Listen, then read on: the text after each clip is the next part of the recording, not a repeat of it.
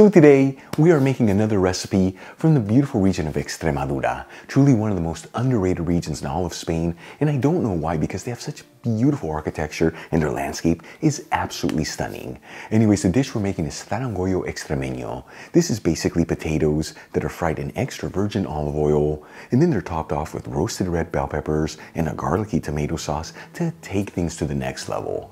Folks, you can serve these potatoes as a tapas appetizer like they do in Spain, or even as a side dish next to some grilled fish. Either way, this is what regional Spanish food is all about. This video is sponsored by Tienda.com. You know that Tienda is an online superstore focusing on selling all things Spain for your home and kitchen, and they've been around since 1996. And like I always tell you, they have the biggest selection of authentic Spanish ingredients, like artisan Spanish cheeses, the famous jamón serrano and jamón ibérico, Marcona almonds, olives, the beautiful canned seafood from Spain, and all the spices you need to make all your favorite Spanish recipes among so many other ingredients. And let me tell you, when it comes to cookware, they have an amazing selection of authentic Spanish paella pans that range in size from two servings all the way up to 50 servings and they even offer classic grilling systems that way you can always perfectly cook your paella. Folks, visit Tienda.com, let them know Albert from Spain on Fork sent you there, and make sure you use coupon code ONFORK during checkout for 10% off your order. Let's begin by cutting two red bell peppers that have been washed and patted dry, each one into large pieces. As you know, when I'm working with bell peppers, I like to cut around them, that way there's no seeds involved. Then we'll slice an X on three tomatoes, and we'll cut a slit on 8 cloves of garlic and then wrap them in foil paper. Then we'll add the vegetables into a baking tray that's lined with parchment paper and you want to make sure everything's in a single layer and for those bell peppers to be skin side up. And we'll drizzle a kiss of extra virgin olive oil over the bell peppers and tomatoes. And we'll add our baking tray into a preheated oven, bake and broil option, that's the bottom and top heat, very similar to a convection oven, 210 degrees Celsius, which is 410 degrees Fahrenheit. After about 30 minutes and all the vegetables are perfectly roasted, I'm going to take them out of the oven and we'll add all the vegetables into a large bowl and then cover it with a plate and let them sit there between 20 to 30 minutes or until they're cool enough to handle. And let me tell you, by trapping that steam in there, it's gonna make it so much easier to peel the vegetables. In the meantime, let's start cooking our potatoes. I'm gonna grab a large fry pan, heat it with a medium heat, and add in a generous cup of extra virgin olive oil, which is about 300 milliliters. And let me tell you, to fry these potatoes, you can use other types of oil, but by using extra virgin, like they do in Extremadura, is what gives this dish that beautiful depth of flavors.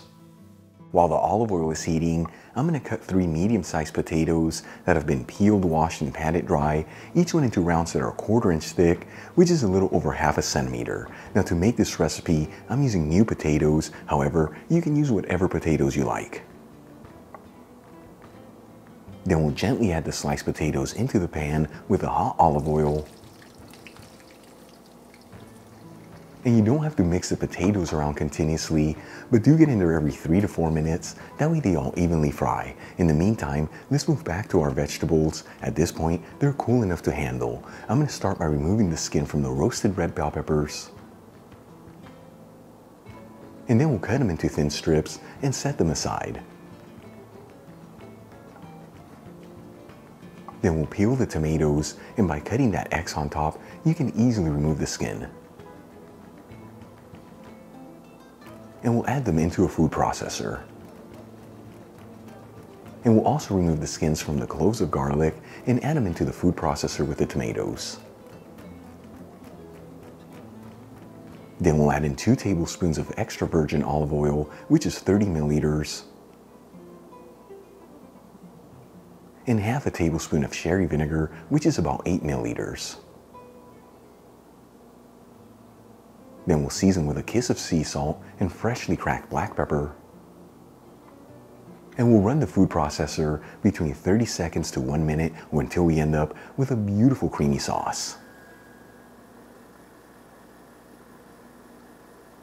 All right, let's move back to our potatoes. They've been frying between 20 to 25 minutes, and at this point, they should be perfectly cooked through. You know you can always pierce them with a toothpick, and if it easily goes in there, they are ready to go. I'm gonna start removing the potatoes from the fry pan and transferring them over a wire rack with some paper towels underneath. This is to drain any of the excess olive oil. And we'll season the potatoes with sea salt. And as for the remaining olive oil in the pan, you just run it through a fine sieve to clean up the olive oil. That way you can use it in future recipes. Okay, let's start assembling our dish. I'm gonna add the potatoes into a large plate.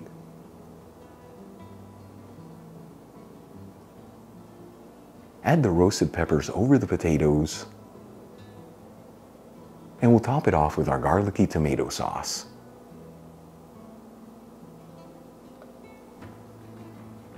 And for the final touch, we'll garnish it with some fresh parsley. Check it out, our Zarangollo Extremeño's done, a beautiful potato dish from the region of Extremadura. Incredible presentation, easy to make, and made with the simplest ingredients. Let's give it a try and see how it turned out. All right, folks, here we go.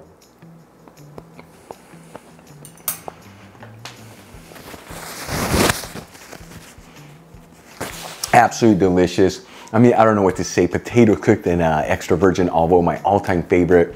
Then the homemade roasted red bell peppers and that garlicky tomato sauce to take things to the next level. You know, this is a very unknown dish from the region of Extremadura. Give it a try at home, once again as a tapas appetizer or even as a side dish, and I promise the flavors will completely blow you away because it is that good. Really quick before I go, uh, shout out to a couple of my patrons, Sam Cohen, Kent Anderson, Grace Suarez, Amy Martinez, and Nancy T. Again, guys, thank you so much for being patrons of Spain on a Fork. You know how much I appreciate you. If you enjoyed today's video, hit that like button as it really helps out the channel. Leave me a comment below. And as always, don't forget to share this video with your family and friends that way our Spain on a Fork community can continue to grow. Till the next time, hasta luego.